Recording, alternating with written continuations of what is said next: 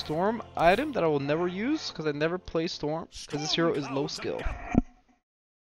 Here you go, I said it. Storm is low skill. You buy five null talismans after 25 minutes and you think you're like your Ori or something. That's what these Storm players do.